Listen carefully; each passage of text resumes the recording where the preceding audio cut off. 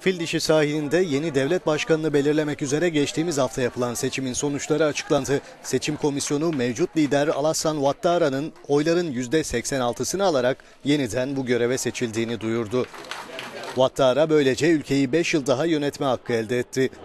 Seçim öncesinde 3 aday usulsüzlük iddiaları nedeniyle yarıştan çekilmişti. Ouattara'nın diğer 6 rakibi ise sonuçlara itiraz edeceklerini açıkladı. Gözlemcilerin şeffaf ve barışçıl geçtiğini açıkladığı seçime katılımsa yaklaşık %60 oldu.